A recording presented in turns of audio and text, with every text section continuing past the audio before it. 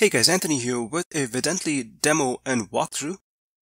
Vidently is a video creation software with which you can create videos quickly using pre-made video templates. So let me show you how to use it. So I've got Vidently open here. I really like the simplistic user interface. The menu bar up top is pretty similar to Explaindio 3.0. You use these buttons to open, create, and save your video projects.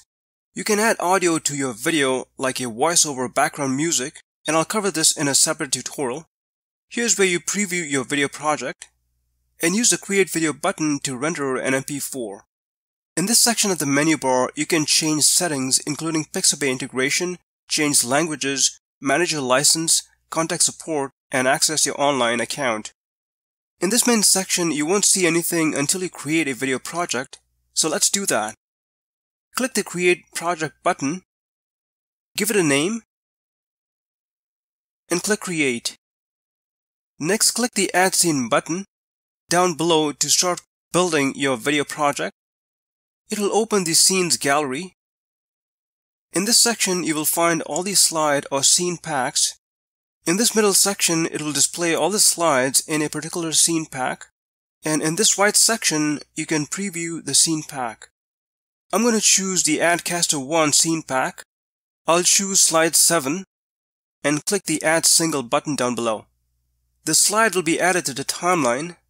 Next, I'll go back to the Scenes gallery by clicking the Add Scene button, and this time I'll choose the Corporate Promo 13 scene pack, and I'll select slides 1 and 2 and click the Add Selected button down below. As you can see, all the slides have been added to the timeline below. You can rearrange slides in the timeline by dragging and dropping them like so. When you click on a specific slide in the timeline, you will see all the layers that make up that slide. For example, text, outline, image, and video layers. This is the canvas area as well as the preview section. You can use this playhead to scrub through the slide like so. And you can use these hotspots in the preview section to edit specific elements. For example, I'll use this image hotspot to add an image like so. I don't want these outline layers, so I'll hide them by clicking on the eye icons. I'll also change the color of this outline layer to black. Next, let's edit the text by using these edit buttons in the layers section. You will see this dialog box when you click the edit button to edit the text, and you can also change the font size and color and click OK.